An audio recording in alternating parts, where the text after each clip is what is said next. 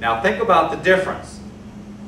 In a fitness center, we want to have access to marketing to their, their clientele, and we always give them a special discount for them because if they're already paying the, fit, the fitness center a certain amount a month to participate, to then add the UBC on, you know, it's not fair if somebody walks into their facility, joins the UBC, and gets access to their gym for 10 weeks as a member of the UBC, which is a, how you want to set it up. If they come and join the UBC at that facility, they should be a member of that facility for the 10 weeks that they're the UBC. So you have to give current members a discount, which is okay. They're already there, they'll fill the class, it's, you know, it's inexpensive advertising. Basically, you just got to market it inside the facility with posters and flyers, and the owner needs to email those clientels to exciting, announcing the exciting new program that you have coming in.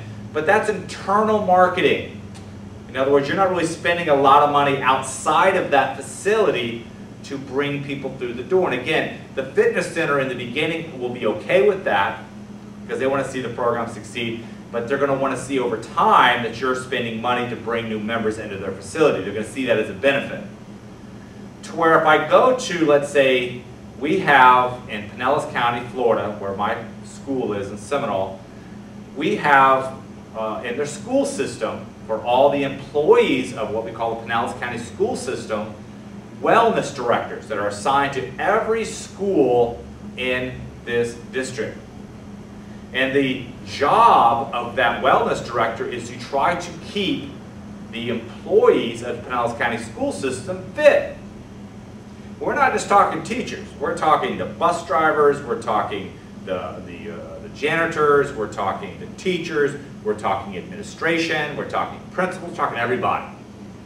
So that's what they do. They're, that's their job. So they're or one of their roles. I don't know if they actually get compensated for it or not. I don't think they do, but it's still, it's kind of a prestigious position. So they're always looking for ways and things that they can give to the employees of the school system, whether it's a discounted membership or a program that will actually come into their facility and train the staff. And that's what we have been doing.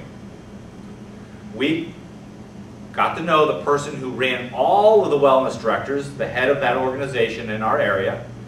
In fact, we were fortunate. She ended up taking the UBC and training with us, loving the program, actually becoming a coach, and kind of guided me to how to go through the hoops so we could become a rec recommended program. And, gave, and ended up with all the emails of all the wellness directors in Pinellas County. And Pinellas County is one of the most densely populated counties in the country, so it was a lot of emails.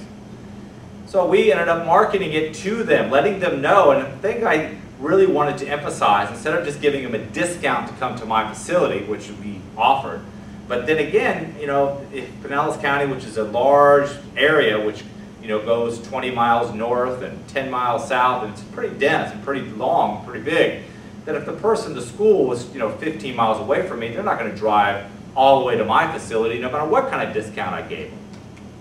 So our idea was to actually put the UBC in the school to where the teacher gets out of school at 3, they could go right to a classroom at 3.30 and take a UBC class.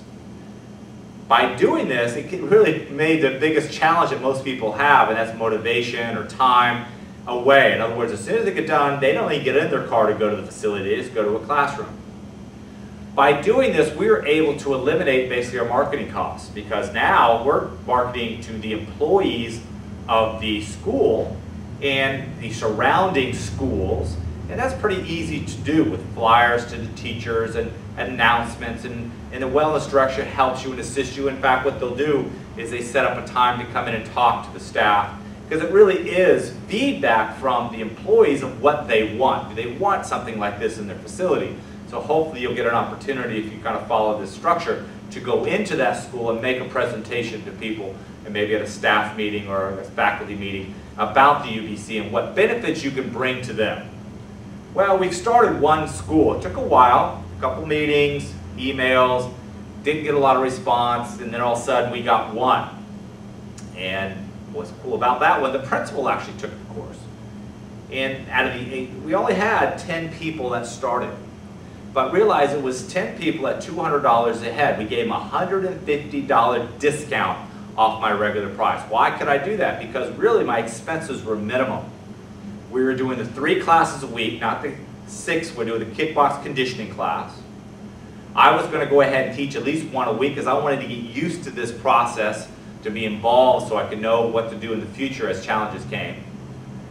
So I was only really focused or stuck with paying instructor twice a week. We paid $20 per class, so I'm at $40 a week for 10 weeks, basically $400 in cost for my instructor. We charged $200, we got 10 people, so we did basically $2,000 in revenue. Now, of course, I had my startup costs of my bags, and I did not use the big old huge bag that we would have in our normal facility. We went the very small Wave Master. It was kind of, we call our travel bag. And they were accommodating enough to allow us to leave four or five of those bags in their facility. And we always had one bag for two people. Realize as you bring a program into there, they don't know anything about what you're already doing. So to have them share bag could be a natural thing. It's like, well, it's better than punching in the air. So we had a minimum startup cost, enough to cover bands, because we just used a lot of the bands we already had here, took it down there. So $2,000 revenue, uh, $400 a month in our, for the program for my instructor, and then probably about another $500 in startup costs. And that's the very first one, is the only one I'm gonna have those startup costs. So I cleared about a thousand in weeks with me personally showing up once a week for 10 weeks. So you see, it was profitable. And then the next one, as we start, as we go on, our bags have already been purchased, our bands have already been purchased. Now I really only have the expense of my instructor, who again at $20 a class, even if I take myself out of the loop, comes to $600 for the year, for the 10-week course. And again, if I can keep it in to where the student is paying me around $200 for the 10-week course, I cut it off and they have to give me at least eight participants. So I'm at $1,600 of the revenue. I've got an instructor in there three days a week. I'm making almost 100% on my classes. I mean, there's a good little profit there, and I'm doing very little of my time and effort to make that happen. And the only thing you've got to make sure of is that they're being catered to. The class is taught, the instructor shows, and that a lot of the elements of the UBC are there. You, you, you, you, you do the fitness evaluation. You do the, let them invite them to any of the award ceremonies that's directly tied to your facility. I wouldn't create new ones for them. There's only eight to 10 people. But at just eight to 10 people, at only 100, only $200 for the 10-week course, we were profitable. And now since we've done this, we are now going into a, we, you know, the kind of words spread out. We sent out a recent email. We've gotten 16 bites of schools that want to do the program now and are definitely excited about doing it at the beginning of next year. I honestly think we'll have at least 10 to 15 satellites in the school system beginning of next year. Now, the process is getting the instructors changed. Where do you get instructors? Well, guys, look at this as an opportunity. If you can advertise in your community that you can have someone join your facility as a instructor in training, you know, one of my favorite headlines is get paid, get in great shape and get paid doing it. People are looking for additional revenue, so now you can utilize that. Realize your certification cost is only $99 per certification. You can charge 349, 449, whatever, especially if you're marketing it just to the outside public as a form of additional revenue in the business opportunity sections of your classified ads, you're going to get calls from people who are looking at this in a different way, a way of making money. Well, it costs money to make money. A certification is not cheap. So it's another, could become another revenue stream for you. I know we're doing it here. We're constantly getting new people coming in, whether it's current students, uh, we need the instructors. So we're creating that as a, as a revenue stream.